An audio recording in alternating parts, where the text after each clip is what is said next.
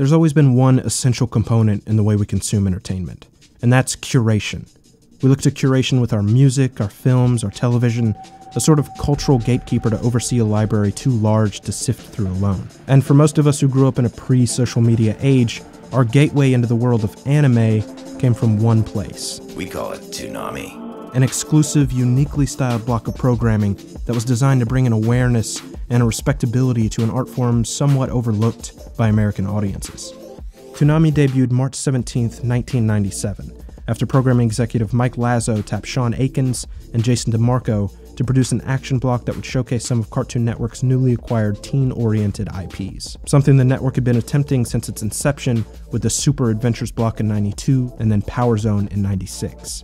The original lineup being the cartoon Roulette, Thundercats, Voltron, and the real adventures of Jonny Quest. And to give the block an atmosphere and a personality, they used CGI interstitials hosted by Space Ghost's own Moltar, voiced by the late great C. Martin Croker, one of the principal animators of Coast to Coast. It wouldn't be until the summer of 99 during Toonami's midnight run when a major design shift would introduce the Toonami Operations Module, or TOM, as the new permanent host of Toonami. Originally portrayed by the voice of Dragon Ball Z's Krillin, Sonny Strait, before being replaced by Steve Blum in 2000, an auditory icon in the anime and gaming industry.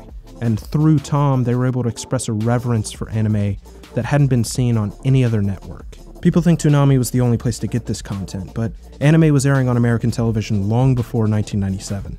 The Sci Fi Channel had a block in the mid 90s called Saturday Anime, which would showcase more mature programming with things like Akira and Dominion Tank Police. Unfortunately, it was buried in the ratings dead zone one night a week, so it didn't reach a very wide audience. Or even as far back as the 60s with Tetsuwan Atom or Mach Go Go Go, it's just that most people weren't aware of their foreign origins due to some pretty heavy westernizing practices. They just knew them as Astro Boy and Speed Racer. But Toonami brought anime into the mainstream with its cultural identity intact. It wasn't just the shows, it was the connective tissue, the curation and the aesthetic and the respectful treatment of the broadcast. The feeling that someone was introducing you to something they had a great deal of passion for.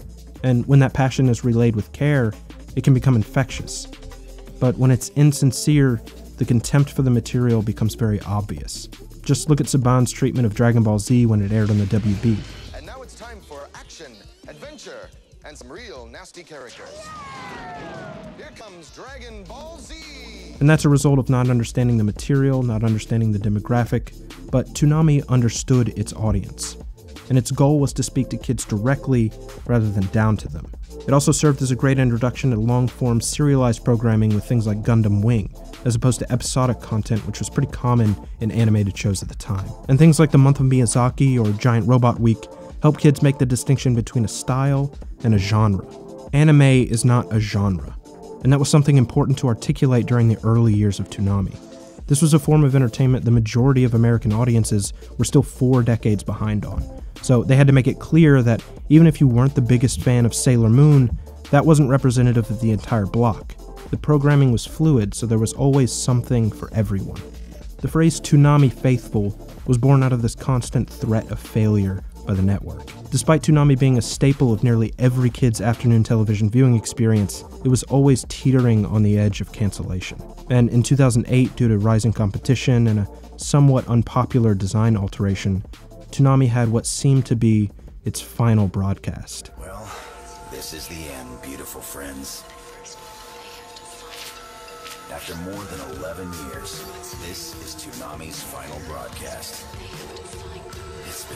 Of fun, and we'd like to thank each and every one of you who've made this journey with us. Toonami wouldn't have been anything without you. And Tom was right.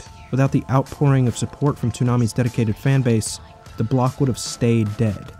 But on May 26, 2012, something no one saw coming happened. Oh, hi, Adult Swim. I got the results of the test back. I definitely have April Fools. What started off as just a clever April Fool's joke turned into a full fledged, internally and externally driven campaign to get Toonami back on the air. The viewership that night went from the normal 200,000 viewers to about 1.4 million, something like that. So we, they were able to get a little bit of programming. Everybody worked for free after hours, and we did it just for love, really, in the beginning to try to get it back on the air. for you guys.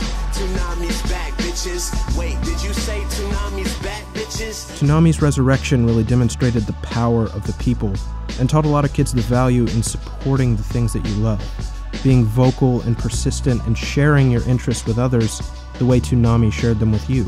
There's an art to curation, more than just an algorithm. It comes from a genuine love of the craft and a meaningful relationship with the audience. Welcome to the anime action fan sanctuary with Tom providing that slick commentary.